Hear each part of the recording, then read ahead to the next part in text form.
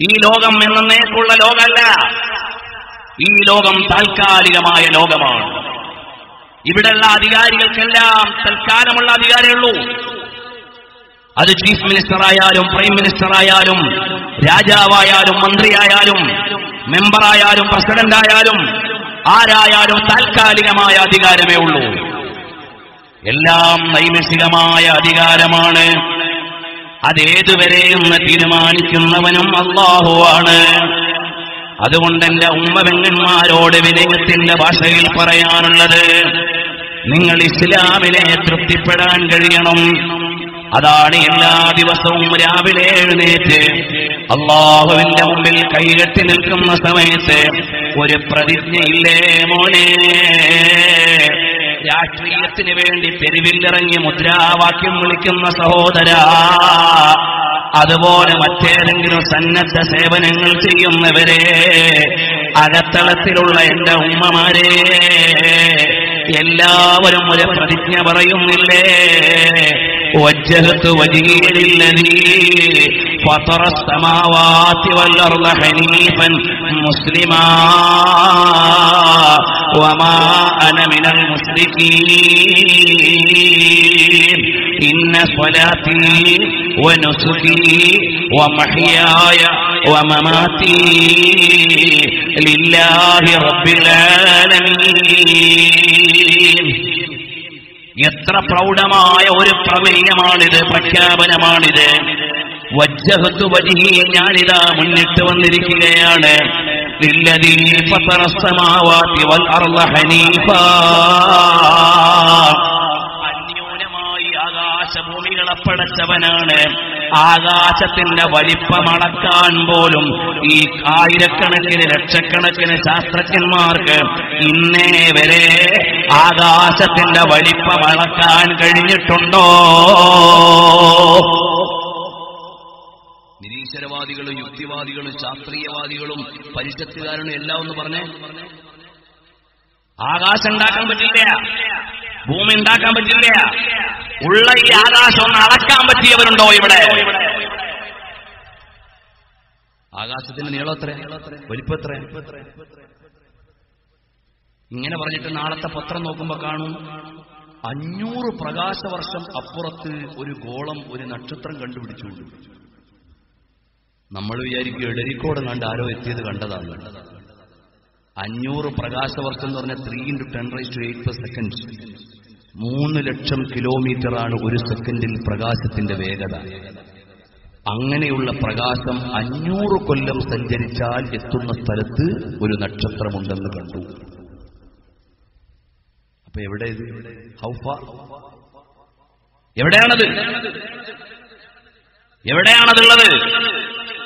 അഞ്ഞൂറ് പ്രകാശ വർഷം എന്ന് പറഞ്ഞാൽ three into ten raise to eight per second മൂന്ന് ലക്ഷം കിലോമീറ്റർ ഒരു സെക്കൻഡിൽ സഞ്ചരിക്കുന്ന പ്രകാശം തുടർച്ചയായി അഞ്ഞൂറ് കൊല്ലം സഞ്ചരിച്ചാൽ എവിടെ എത്തുവോ അവിടെ ഉണ്ട് പോലും ഒരു നക്ഷത്രം. അപ്പോൾ മനുഷ്യൻ ഈ ആകാശത്തെ അളക്കാൻ കഴിഞ്ഞിട്ടുണ്ടോ? മനുഷ്യന് ഈ ആകാശത്തെ അളക്കാൻ കഴിഞ്ഞിട്ടുണ്ടോ? അങ്ങനെയുള്ള മനുഷ്യനാണോ ഈ ആകാശത്തിന്റെ അധിപനെതിരെ തിരിയണത് മെനിങ്ങാതൊരു സ്റ്റേറ്റ്മെന്റ് കണ്ടപ്പോ തിരിച്ചു തിരിച്ചുപോയി. ഈ തർക്കവും വിതർക്കവും ഒന്നും വേണ്ട എല്ലാം കൂടെ സയൻസുകാരനെ ഏൽപ്പിക്കാൻ. സയൻസുകാരനെ ഏൽപ്പിച്ച മനുഷ്യന്റെ ആത്മാവിനെ കുറിച്ച് പറയാൻ സയൻസിന് അധികാരമുണ്ടോ? ആത്മാവ് എന്താണെന്ന് പറയാൻ പോലും പഠിച്ചിട്ടില്ല. സയൻസിന്റെ അന്വേഷണ മേഖല അതല്ല. ഓരോന്നിനും ഓരോ കൈകാര്യ മേഖലയുണ്ട്. അതുകൊണ്ട് നമ്മൾ കൃത്യമായി വിലയിരുത്തണം. എനിക്കും നിങ്ങൾക്കും ആയുസ് നൽകിയത് ജന്മം നൽകിയത് എല്ലാം നൽകിയത് സർവാധികാരിയായ അള്ളാഹുവാണ്.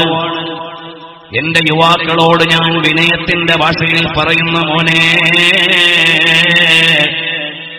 താൽക്കാലികമായ അധികാര താൽപര്യങ്ങളുടെയോ രാഷ്ട്രീയ താൽപര്യങ്ങളുടെയോ പേരിൽ ഒന്നിന്റെയും പിന്നാലെ ചാടിയിറങ്ങില്ലേ മോനെ?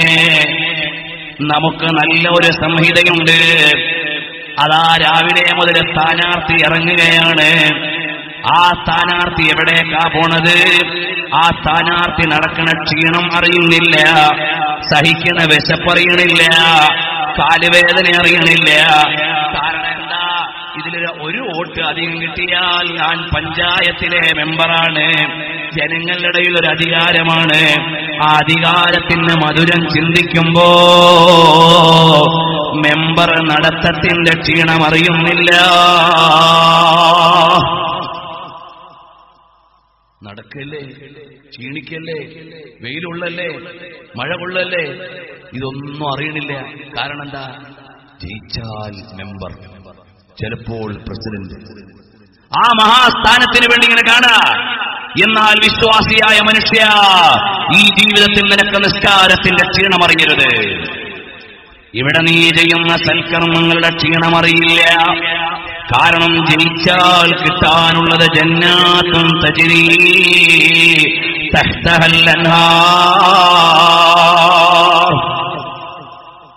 സൂപ്പർ സ്വർഗം കാത്തിരിക്കുകയാണ്. അതിൽ പിന്നെ അഞ്ചു കൊല്ലത്തെ അധികാരമൊന്നുമില്ല. ഖാലിദൻ മുഹല്ലദൻ ഫിഹ അബദ. എന്നേക്കുള്ള സ്വർഗം. എന്നേക്കുള്ള സ്വർഗം ഇങ്ങനെ കാത്തിരിക്കുകയാണ്.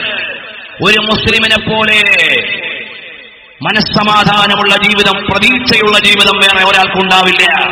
കാരണം എന്താ? ഇവിടെ കഷ്ടപ്പെട്ടാലും ഇവിടെ ക്ഷീണിച്ചാലും ഇവിടെ പരിശ്രമിച്ചാലും നാല് ദിവസം അപ്പുറത്തോ സ്വർഗം വരികയാണ്. ആ സ്വർഗത്തിലേക്ക് കണ്ണു നട്ടിരിക്കുകയാണ് മിനായിൽ ആയിരക്കണക്കിന് ആളുകൾ പരിക്കിൽ മരണപ്പെട്ടു പോയി. ഒരു അറബ് സഹോദരനോട് പറയാ മിനായിൽ നടന്ന ദുരന്തത്തിൽ കുറെ ആളുകൾ മരിച്ചുപോയല്ലോ. അത് ഇന്നാലില്ല എന്ന് പറയും. പിന്നെ അലഹമില്ല എന്ന് പറയും. എന്താ? അൽഹംദുലില്ല അൽ മൗത്ത്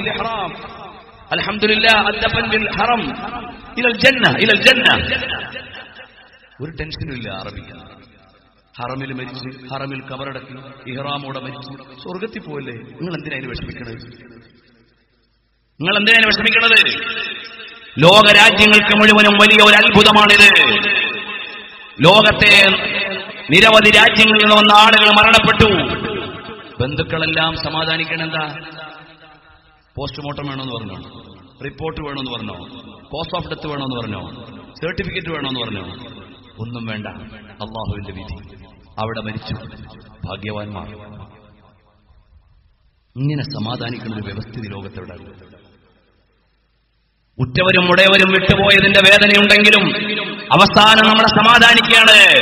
ഇതിൽ ജന്ന നാളെ തൽബിയത്തിൽ സ്വർഗത്തിലേക്ക് വരും. ഇങ്ങനെ ഒരു അംബീഷൻ ഇങ്ങനെ ഒരു ഹോപ്പ് ഇങ്ങനെ ഒരു ഡ്രീം ഇങ്ങനെ ഒരു ബെസ്റ്റ് ഫ്യൂച്ചർ നൽകാൻ വേറെ ഏത് സംഹിതയ്ക്കാണ് കഴിയുന്നത്? ഒരു സംവിധാനത്തിന് കഴിയുന്നില്ല.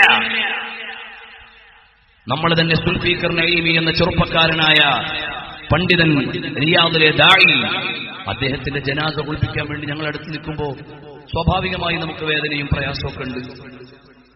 അപ്പൊ കുളിപ്പിക്കാൻ വന്ന അറബ് സഹോദരൻ അലഹമില്ല ഷഹീദ് ഇരൽ ജന്ന അൽഹംദുലില്ല ഷഹീദ് ഇരൽ ജന്ന. സ്വർഗത്തിലേക്ക് ഷഹീദായി പോവല്ലേ? അയാൾ അതിന്റെ അഭിമാനം പറയാൻ. കാരണം അപ്പുറത്തെ ഒരു ലോകത്തെക്കുറിച്ചുള്ള വിശ്വാസം. ഇതിനപ്പുറത്തെ ഒരു ലോകമുണ്ടെന്ന പ്രതീക്ഷ.